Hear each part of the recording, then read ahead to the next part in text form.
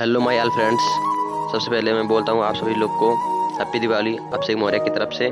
ढेर सारी शुभकामनाएँ। और लाइफ में अपने गोल को अचीव करें। और सक्सेस मेहनत करने वाले पर भी फिदा होती है। इसीलिए आप सभी लोग मेहनत कीजिए। और बहुत मेहनत कीजिए।